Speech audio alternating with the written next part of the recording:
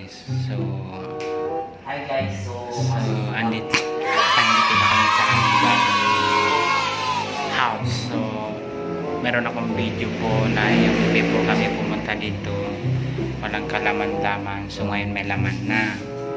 So, yan po siya guys. Yan. Kakalipat lang. Yan. So, bago, bagong try ko yan guys. Yan. So, kaluluto niya lang pa. So, yan. May tinapay. So, Hi guys, lalagyan namin Yan. Yan.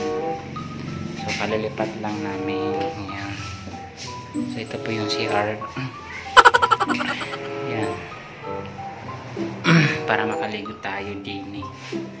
So, yan po guys. So, guys, ito po yung anyar namin.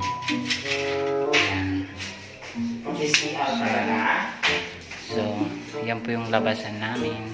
May sasakyan sa labas. So, yun. May ano pa. Yan. So, dilim pa dito. Pwede ka dito mag-disco. Hindi ka mag-disco, mag-isa mo. Tapos, ito po yung kwarto namin sa loob. Pasensya lang po guys kasi kalat na kalat pa. Kasi galing kami sa work. Yan po guys. Sa so, tabi ko, office na Pesto North. So, sobrang nice. Ito pa yung ID ng akin. Para magnanakaw. Tingnan niyo po guys yung mukha niyang... Ba't dalawang ID mo? Bakit? Mhm. May asa. Ayan. Guys, wala ako dito sa cellphone. Nagpalagay. Nakasaksak. Lahat na lang nakikita mo kasi hindi bihan. So, yan. Magluluto pa siya. Magluluto. Anong lulutuin mo? Patski.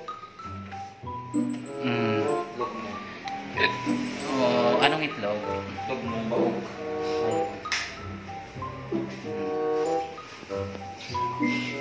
Magluto ka ng ulam para tayo makakain. Huwag ka na kumain. Itlog mo na. So, yun guys. So, hanggang lang dito sa ulitin.